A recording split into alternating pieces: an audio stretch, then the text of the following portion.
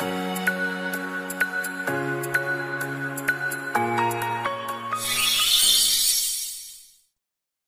い、こんにちは、レトスノーノです。10月1日の3問に入る前に、本日は、宅建の4択問題は、一問一答で勉強することという内容をお伝えいたします。え通常、宅建試験の問題は、正しい選択肢、えおよび間違っている選択肢、1つだけ選ぶ出題形式が多いです。まあ、もちろん、えー、2つ誤っている組み合わせを選べだったりとか、えー、誤っているものいくつあるかっていう個数問題ですね。まあ、そういった問題もあるんですけども、基本的には1つを選ぶ。そういった出題形式が多いです。で、そのような場合に、問題自体正解していたとしても、選択肢ごとに見ると、解けない選択肢がある。そういった場合もあると思います。そのような解けない選択肢っていうのは、必ず復習しましょう。すべての選択肢を解けるように復習していくということです。ただこの時期になると限られた時間の中でできるだけ多くのポイントを頭に入れる必要があるので解説を見て全くわからない選択肢もうこれは飛ばしていただいて構いません。難しい問題も簡単な問題も1問1点で配点は変わらないですよね。であれば簡単な問題から確実な知識にしていく方がより多くのポイントを頭に入れることができます。10の曖昧な知識よりも1つの確実な知識が点数を生みます。なので確実な知識を1つでも多く身につけていきましょう。それでは本日の3問に入っていきます。A には妻 B、子 C があり、A は C に A 所有の資産全部を相続させ、A の事業も承継させたいと考えているが、B が反対している場合、A は B が反対していることを理由として遺言で B を相続人から排除することができる丸か×かという問題です。考えたい方は動画一旦ストップしていただいて、この動画の下の概要欄から問題文ご確認ください。答えは×ですね。排除とは、非相続人に対して虐待、侮辱、非行などがある場合、虐待等を行った者から相続権を奪い取ることを言うんですね。つまり、排除できる場合っていうのは、非相続人に対して虐待、侮辱、非行などがある場合に限られるんですね。単に非相続人の相続の考えについて反対しているだけでは排除することはできません。なので誤りになります。ちなみに、こういった自由に該当していて、排除する場合は、非相続人が生前に家庭裁判所に請求をして行います。つまり、単に書面に書いただけでは排除することできませんので、注意しておきましょう。では問い2です。宅地建物取引業者は本店を移転したため、その最寄りの供託所が変更した場合、国際証券を持って営業保証金を供託しているときは、地帯なく従前の本店の最寄りの供託所に対し、営業保証金の保管替えを請求しなければならない、丸か×かという問題です。で、答えは、これ×ですね。営業保証金の保管替えを請求できるのは、金銭のみで供託している場合です。本文のように、国際証券で供託している場合、この場合保管替えはできません。二重供託っていう手続きをしなければいけないですよね。ただ、まあ、これだけ覚えるのは非効率な勉強です。保管替えと関連する重要ポイントを合わせて勉強することで、頭を整理する勉強法を取った方が効率的ですし、試験前の時期になって、あれどっちだったっけ？と混乱することも少なくなります。個別指導ではそうならないために、効率的な学習ができるようにしております。この問題で言えば関連するポイントだけではなく、なぜと思われる疑問点を解消するための理由についても解説しております。それでは問い3に入ります。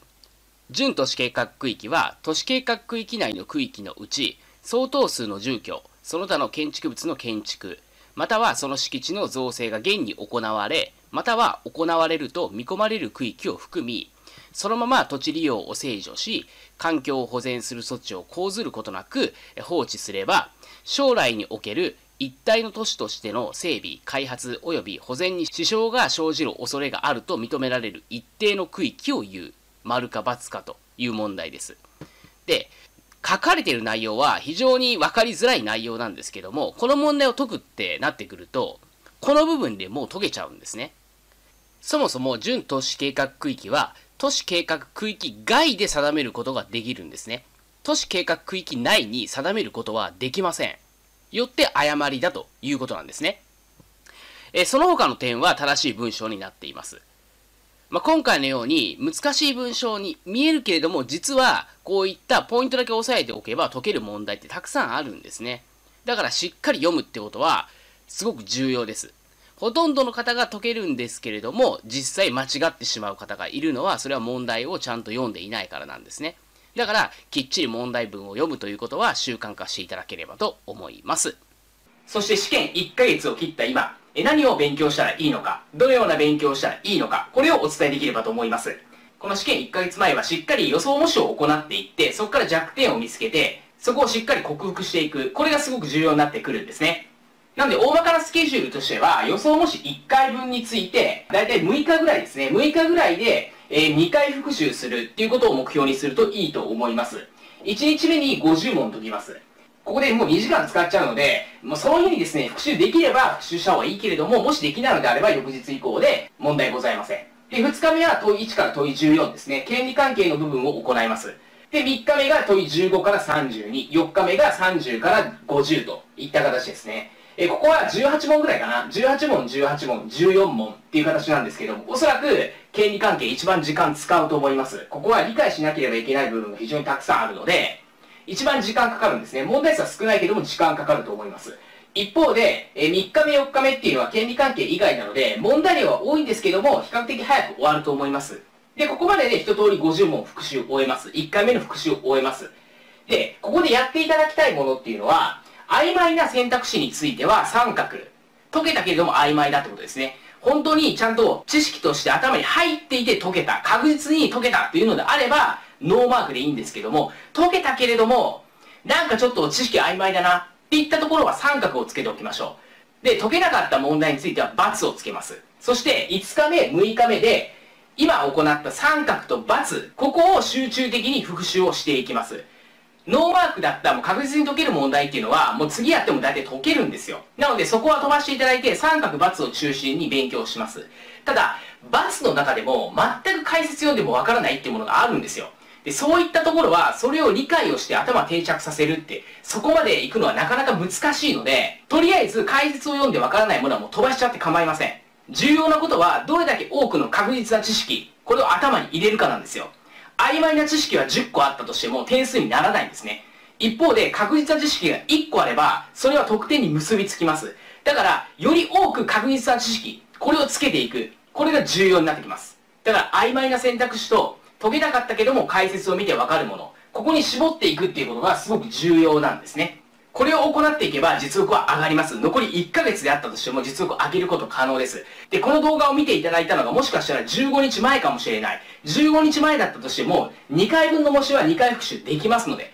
その分は実力を上げていただきます。残り試験まで1週間かもしれない。1週間であれば1回分は行えますよね。その分実力を上げていただけます。だから最後まで諦めないっていうところがすごく重要です。ただ市販の模試だとなかなか理解すべきところまで載っていないので、その部分を自分自身で調べなきゃいけなくなっちゃうんですね。理解すべき部分を自分自身で調べなきゃいけない。そうなってくると、なかなかこの計画ではいかないんですよね。調べる時間も含めると、おそらく1日で権利関係14問、これを全部復習するまではおそらくできないと思います。できて5問ぐらいだと思うんですね。そうなってくるともう全然時間間に合わないんですよ。なので市販の模試だとこのようにはいかないかもしれない。もっと時間かかるかもしれないんですけども、弊社の模試であれば、理解すべき部分までも解説の方に載ってますので、この計画で進めていただけます。実際弊社の個別指導の受講者さんも、同じようにこの計画、もっと早い方は、5日ぐらいで2回の復習をしていただいております。なので短期間で実力を上げたいって方は、ぜひ弊社の予想模試、ご検討いただければと思います。そして予想模試のお申し込みについては、この動画の下の概要欄に URL 貼っておきますので、そちらからお申し込みいただけます。今年の合格目指して頑張っていきましょう